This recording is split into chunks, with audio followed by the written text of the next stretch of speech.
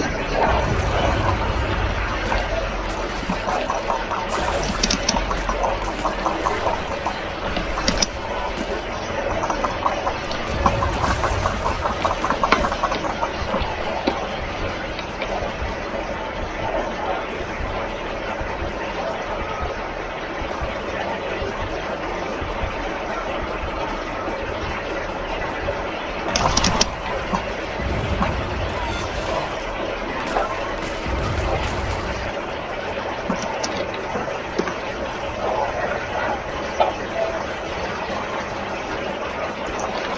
It was not a chicken.